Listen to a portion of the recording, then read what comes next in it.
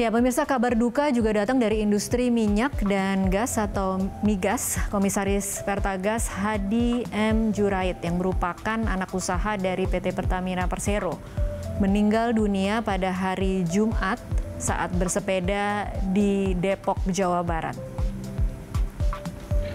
Kabar meninggalnya Hadi M. Jurait berawal dari informasi ada seorang pengendara sepeda tergeletak di pinggir jalan Komjen Pol M. Jasin, Kelapa II, Depok, Jawa Barat.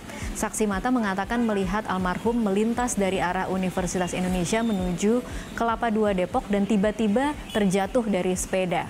Setelah diperiksa, korban diketahui adalah Hadi Mustafa, warga Cimanggis, Depok, Jawa Barat. Hadi di ditetapkan sebagai komisaris Pertagas sejak 7 Maret 2017. Pada Oktober 2016 ia menjabat sebagai staf khusus Menteri Energi dan Sumber Daya Mineral SDM untuk Menteri Ignatius Yonan.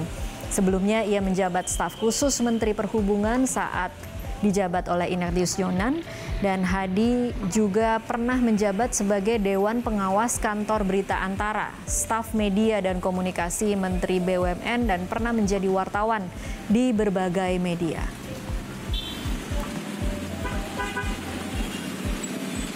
Kejadiannya pas saya lagi kerja, nah, tiba-tiba sepeda jatuh.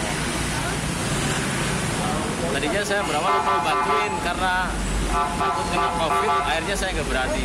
Habis itu saya mengarah ke uh, Brimob sama ke rumah sakit Bayangkara. Saya meminta bantuan ke polisi setempat.